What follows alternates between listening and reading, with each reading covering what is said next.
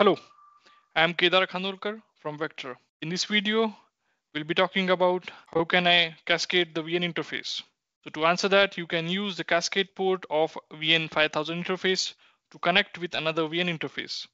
By cascading, you can connect two interface one after another. For example, to increase the number of available Ethernet ports, you will need the Vector Hardware Manager to cascade VN 5000 interface. And it is possible to cascade one VN interface. Cascading multiple VN interface is not possible. Now we'll move on to the fundamental setup when cascading the VN interface. In our example, we have considered VN5620 as the primary device, which is connected to the computer via USB connection. We will consider VN5430 as the secondary interface, which will be connected via Ethernet patch cable or LAN cable to the 5620. However, you can use any device with Ethernet host mode as the secondary interface. The synchronization between the primary and the secondary device will be done via PTP.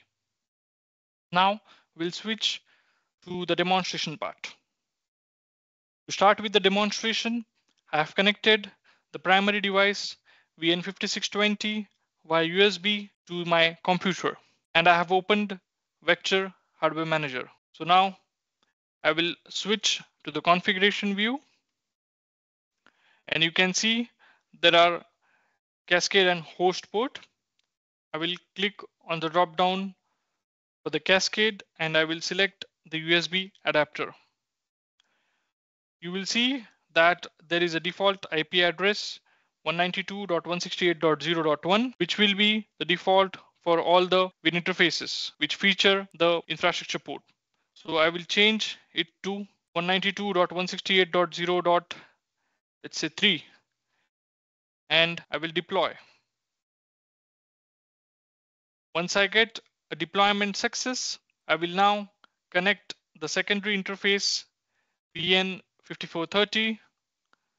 So this connection will be such that the cascade port of the primary device will be connected to the host port of the secondary device. Once this is done, we'll click on the burger menu, we'll click on network devices, and you can see that VN5430 is detected and the status is available and is under the same IP address 192.168.0.1. So we are good to connect. So you can see that now the status is connected. So you can see that VN5430 has been connected via Ethernet.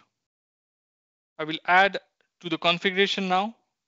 However, please ensure that VN5430's host IP address is set to private IP address such as 192.168.0.1, which is the default IP address.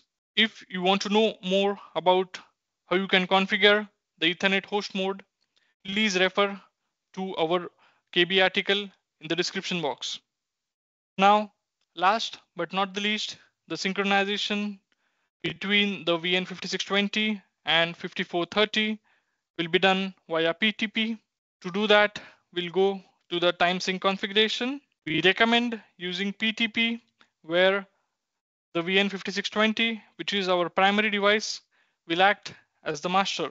I will drag the VN5620 and then I will select the secondary device VN5430 and I will connect it via PTP.